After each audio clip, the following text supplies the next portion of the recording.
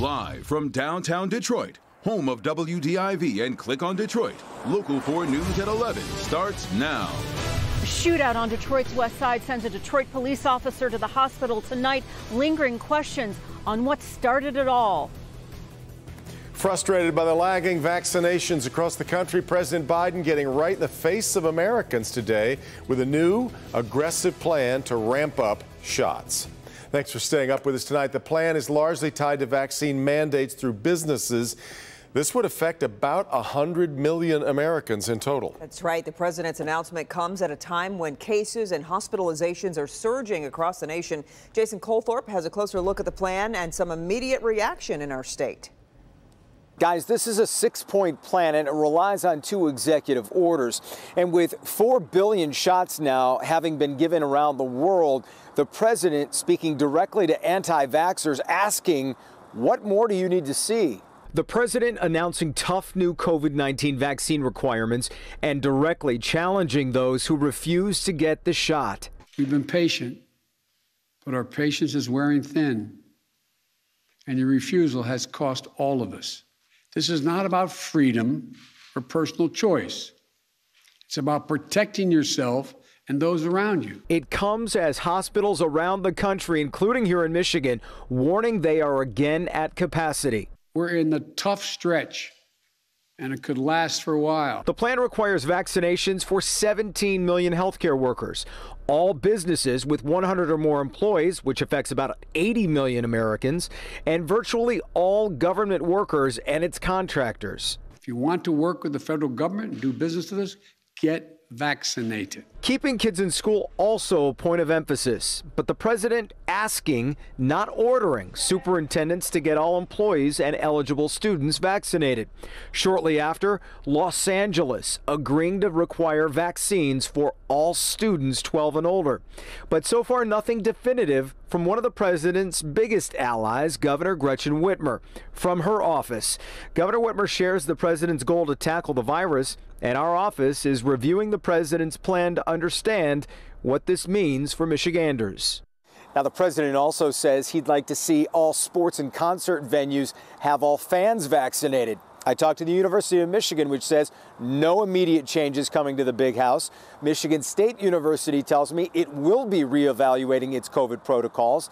And no word tonight from the Ilitch family, which owns the Tigers and the Red Wings, as well as LCA and several other concert venues. We'll have to see what happens with that. I'm Jason Colthorp, Local 4. All right, Jason, the president's announcement came just hours after hospital leaders urged Michiganders to get vaccinated as COVID cases rise here. If you get the vaccine, you have a 0.001% chance of dying of a breakthrough infection. That's a staggeringly small number. And that is highly, highly effective. And I think people overestimate the effectiveness of the treatments that we have for COVID in, in comparison to the vaccine. We truly need to get the message across that our best treatment for COVID is to never get it in the first place.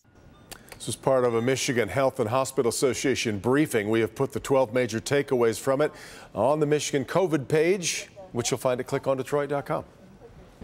With 30 shell casings on the ground, Detroit police have spent hours in a West Side neighborhood after an officer suffered a graze wound.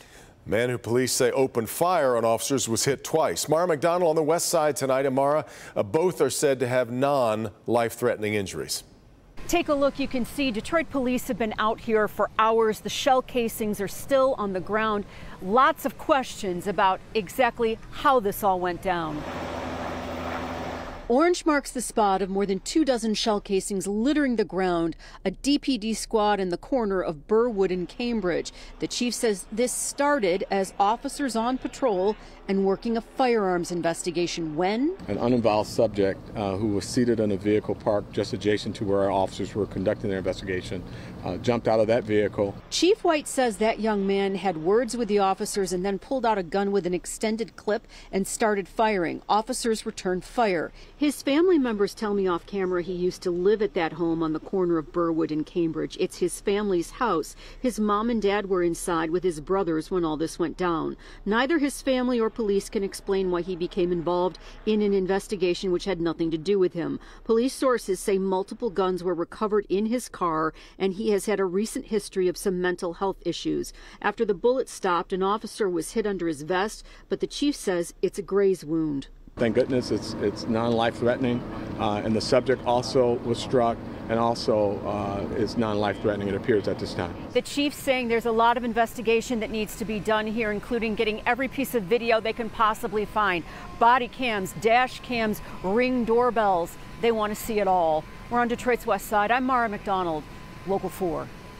Okay, Mara, a cool night, but uh, warmer weather is on tap for the weekend. And here's what happens when we're on very late. We run into Brandon. That's right, he's here. Who's here really early, Brandon? Good morning, everybody. yes. Hope the uh, coffee pot is going and uh, maybe you're warming up the car early. It's not that cool. How are you doing here? 12, 13 a.m. on a Friday. It is cool out there. We've got mainly 50s, but 60 City Airport, 49 right now in Lapeer, and noticeably cooler than it was this time yesterday. The negative number means how much cooler it is now compared to 24 hours ago. So we're 5 to 10 degrees cooler. We'll see 53 degrees overnight, which means, yeah, plenty more 40s in the suburbs and a little bit of patchy fog. On our way to 75, another nice fall-like day tomorrow, but beautiful. I tell you, is it that Labor Day is the unofficial end of summer. Mother Nature disagrees. We've got a summer like weekend forecast coming up. Brandon, the state is ordering Ford to reduce all risks related to the toxic gas leak in Flat Rock and report back to EGLE daily. That order was issued in a letter EGLE sent to Ford this evening. 1,100 homes remain evacuated. EPA testing continues to show trace amounts of benzene in the sewer system. It's still not known when residents will be allowed to return home. Michigan's acting unemployment agency director goes before the House Oversight Committee to answer questions about the agency's problems over the past 18 months. When I look for a leader, the leader takes responsibility. They don't just blame other people. And that's what I keep hearing is just blaming other people. I'm sorry, who am I blaming? You're blaming we Congress. You're blaming the previous administration. You're blaming lack of funding. You're blaming all kinds of things. What you're not doing is you're not taking responsibility. I'm sorry. I absolutely take responsibility for what I have done since I entered this agency. Agency came under scrutiny for procedures and delays in paying benefits during the pandemic. Olson says the agency received 26 more times the number of usual claims and has paid 99% of the benefits that are due. State police share video of a police helicopter finding a shooting suspect who was on the run in Detroit. New video shows troopers scanning the area and zooming in on a person lying on the roof of a garage. Investigators say the man was a suspect who left the scene of a shots fired call. Police surrounded the garage and took the man into custody. Detroit Tigers broadcaster and Hall of Fame pitcher Jack Morris is going to be back in the booth for Friday night's game. Morris was suspended indefinitely, we were told last month, for a comment that he made about Angel star Shohei Ohtani. The Detroit Free Press, first to report the suspension, has ended. Bally Sports has not officially commented about Morris's return. City of Detroit wants to get more residents signed up for a stipend to help them with their internet service. The Emergency Broadband Benefit Program gives residents $50 a month. That money can be spent on internet bills or to get access to internet ready devices. 45,000 Detroit homes have signed up, which is the second most in the country.